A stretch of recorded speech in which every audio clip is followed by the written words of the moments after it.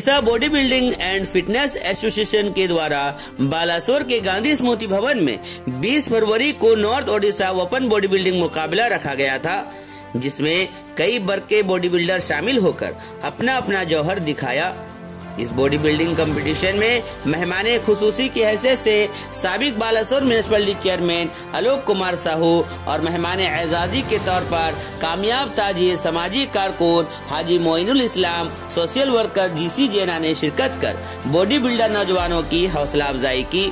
मगरबी बंगाल से तशरीफ़ लाए आईबीबीएफएफ के मेंबर अब्दुल सत्तार और Odisha body building fitness association के मेंबर शेख यासीर, किशोर बिसोय, भागवत साहू, शेख मुश्ताक, शेख नसीरुद्दीन और junior mister India Sheikh Bhola ने जज के फराज अंजाम देते हुए हर वर्ग के बॉडी बिल्डर को फ़र्स्ट, सेकेंड, थर्ड चुनने के साथ ही आखिर में सबसे बेहतरीन खिलाड़ी बॉडी बिल्डर चंदन कुमार पानीग्राही को मिस्टर बागा जतीन के खिताब से नवाजा।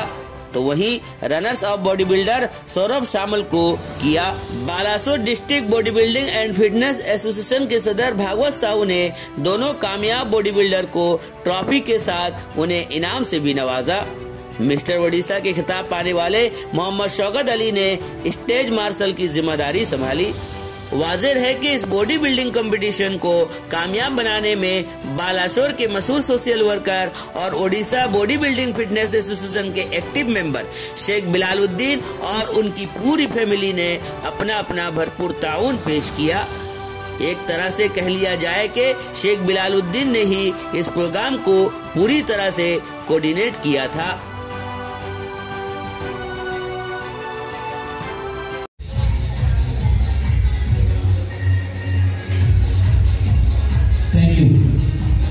Thank you.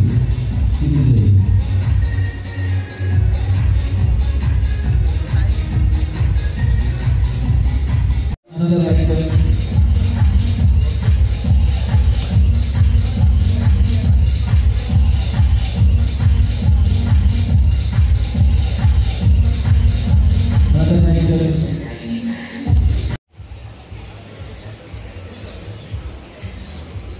Cell number 17, cell number 9, Tuhan yang membuat kulit.